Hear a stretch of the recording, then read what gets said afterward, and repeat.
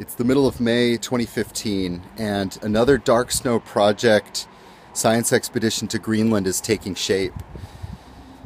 Thanks to your support, we've built an organization and, and a global brand awareness about the effect of increasing wildfire on darkening the Arctic, where uh, temperatures are climbing at about twice the rate as they are elsewhere on our planet.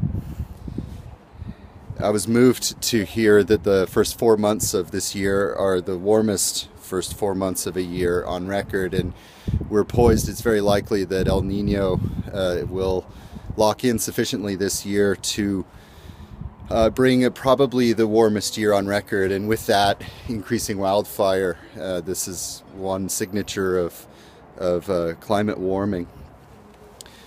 So we've got a, a field plan uh, to go to Greenland, and it's exciting uh, building on your support uh, that we've received support from a well-known foundation that's covering most of our costs for this uh, coming, uh, like less than a month from now, departure to Greenland.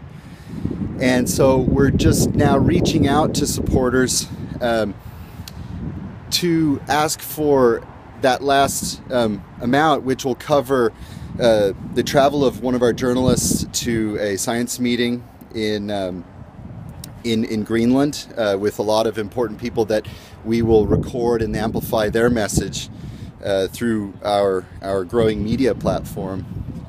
Uh, we're also after funds for a tent um, that'll serve as our science tent uh, because actually the bulk of, of what we're after, what's remaining, is is funds to uh, position our camp on the ice uh, because we're, we're starting the first month on land.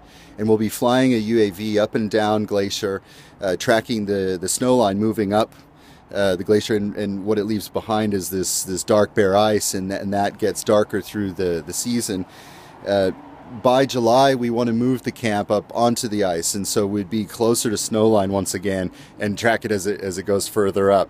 Uh, tracking it with uh, these uh, UAV flights each each uh, day that the weather is cooperating. So that's it. And we really couldn't have done it without this type of support. So thanks for our supporters, and uh, if you can, help us make this on ice camp happen this summer, 2015.